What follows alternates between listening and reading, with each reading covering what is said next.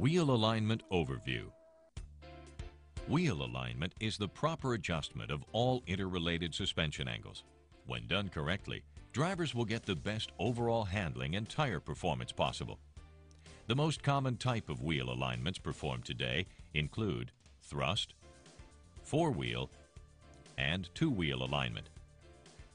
Thrust alignment is where the front wheels are aligned to the rear axle. The drive direction of the rear axle is referred to as the thrust angle. The thrust angle and geometric center should be the same. Four-wheel alignment is when all four wheels are independently aligned to the geometric center line. Two-wheel alignments align only the front wheels to the vehicle center line and assume the rear wheels are aligned with the geometric center line.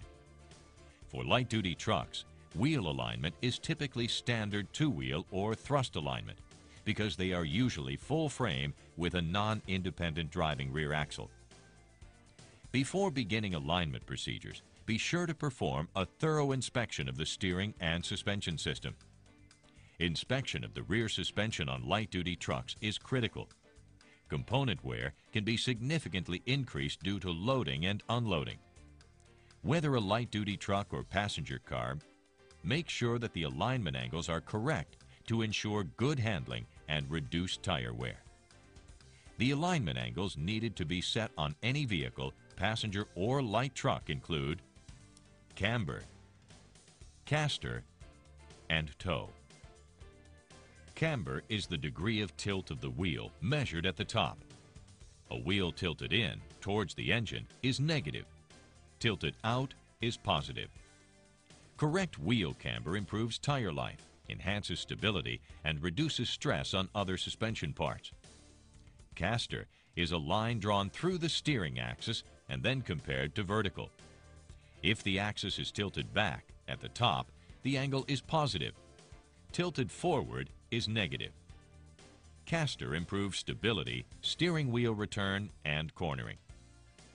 Toe is an angle formed by a line drawn through the horizontal center of each wheel relative to the center line of the vehicle.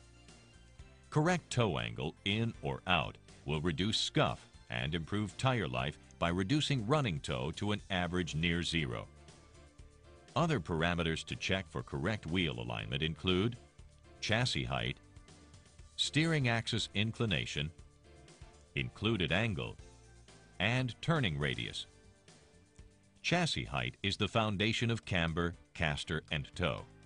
If out of specification, angles can be set, but dynamic running angles will not be in range.